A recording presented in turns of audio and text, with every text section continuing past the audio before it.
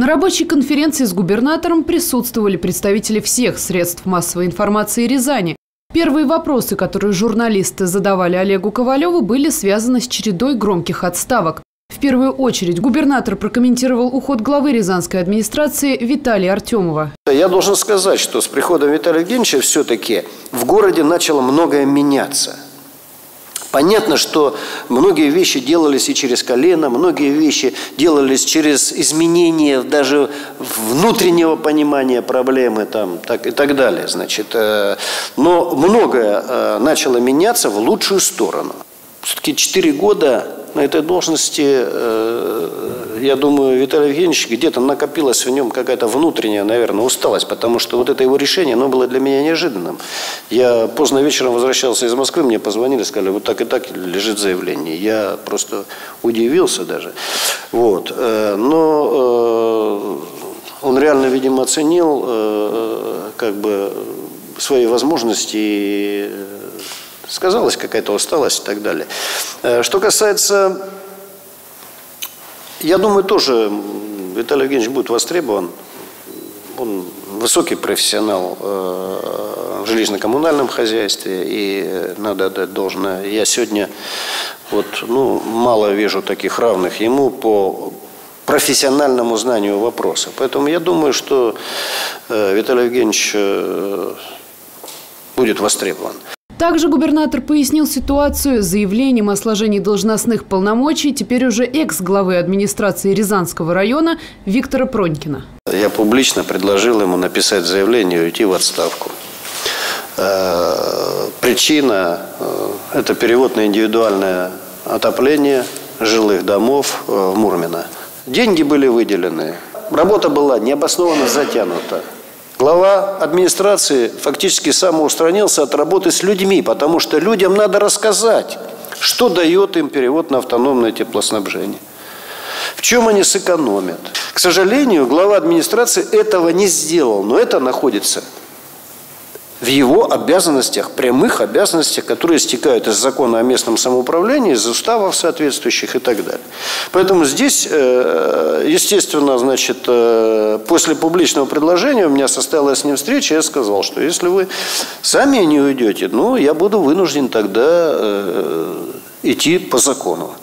И он понял свою ошибку, написал заявление и уволился. Несмотря на все пертурбации и кадровые перестановки, по словам губернатора, никаких структурных изменений в работу правительства вноситься не будет. Я считаю, что сейчас э, структура правительства наиболее эффективна, по крайней мере, на как, в какой-то период времени. Значит, и э, на сегодняшний день я не вижу необходимости менять саму структуру правительства.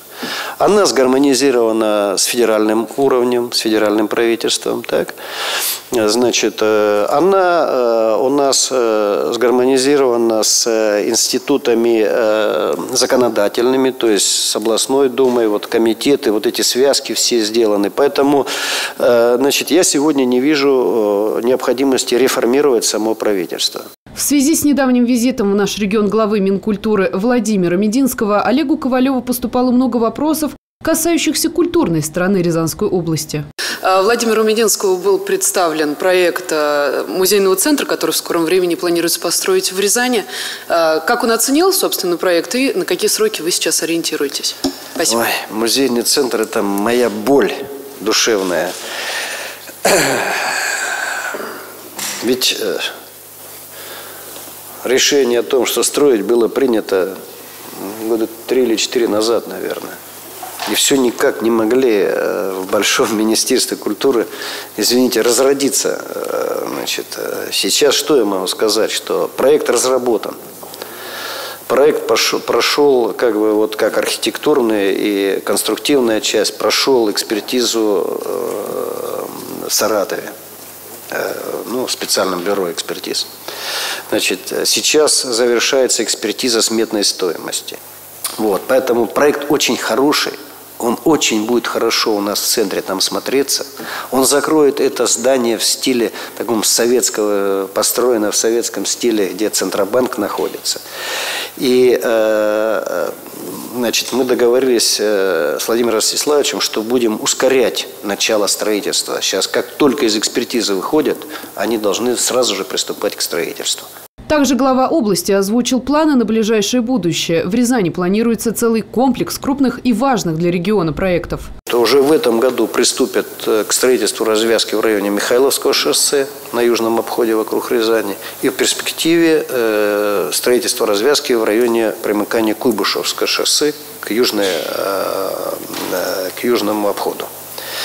Значит, э, сама реконструкция южного входа, это позволит транзитному транспорту быстро проскакивать город, потому что, по сути, в черте города э, проскакивать город, и э, это и экологическая ситуация от этого будет лучше, и социальное самочувствие водителей будет лучше, так сказать, да и горожанам будет легче. Во время двухчасовой конференции губернатор вел открытый разговор с журналистами, ответил на все интересующие их вопросы, касающиеся социальных аспектов нашего региона.